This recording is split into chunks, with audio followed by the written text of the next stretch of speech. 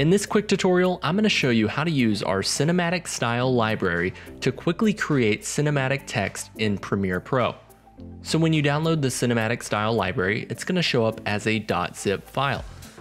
Simply double click on the .zip file and you'll get a folder.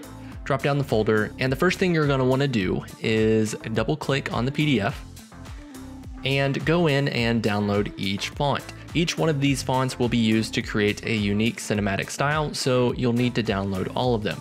After you've downloaded them onto your computer, simply go to Premiere Pro. And we're gonna create a new title, so go to the Create New button and select Title. We'll call this Title 1, that's fine.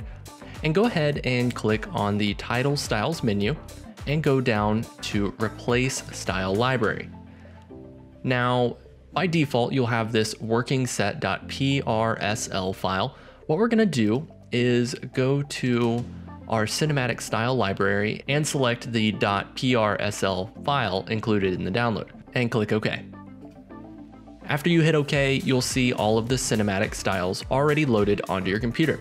To use them, simply create a new title, we'll call this new title, and select the style that you want.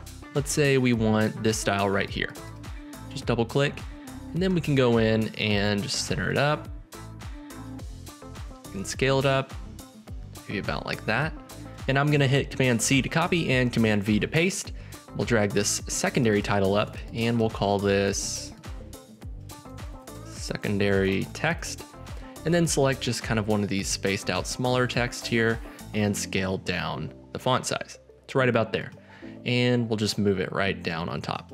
So now we have this cinematic style text. I'll go ahead and X out and drag it onto our timeline.